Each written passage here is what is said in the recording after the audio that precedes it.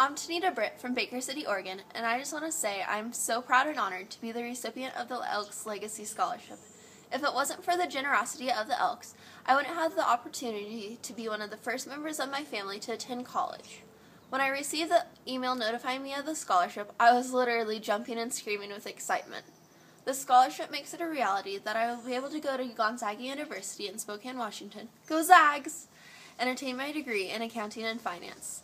The Elks have always made an important impact in my life, from hoop shoots to local community events, and you are continuing to do so as I enter the next chapter in my life. It comes with the most sincere thank you to all members of the Elks for being so generous. I cannot even begin to describe how much I appreciate it.